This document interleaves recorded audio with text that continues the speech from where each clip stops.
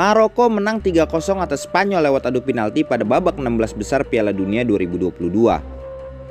Maroko jadi satu-satunya wakil Afrika yang lolos ke babak 8 besar Piala Dunia 2022.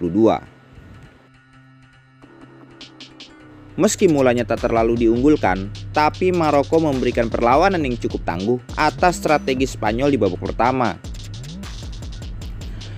Maroko bermain cukup tenang di bawah bayang-bayang nama besar Spanyol, Skema 4-3-3 yang sudah digunakan sejak fase grup tampaknya masih cukup efektif.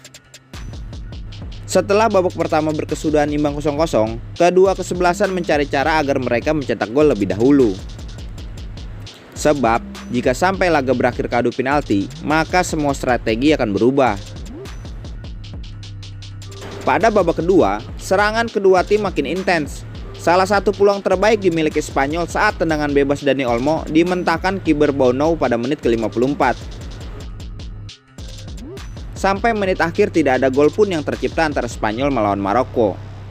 Laga pun dilanjutkan ke babak perpanjangan waktu.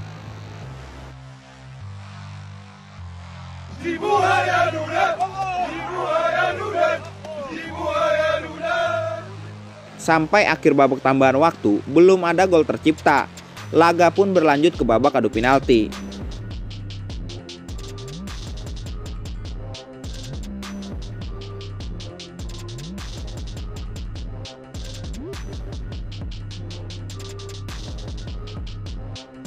Abdel Hamid Sabiri sukses menunaikan tugasnya sebagai penendang pertama Maroko. Sementara Pablo Sarabia dari Spanyol gagal.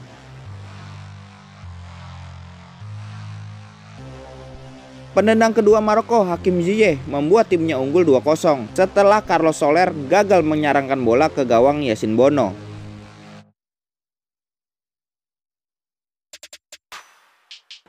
Skor tetap 2-0, lantaran kedua penendang ketiga dari masing-masing tim, Badar Benon dan Sergio Basket gagal.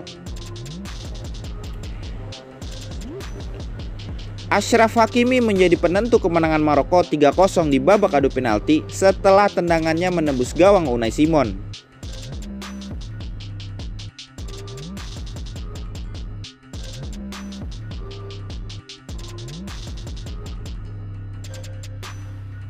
Singa Atlas berhak melenggang ke babak perempat final dan akan menghadapi pemenang laga Portugal versus Swiss. Bagaimana menurut kalian? Tulis di komen.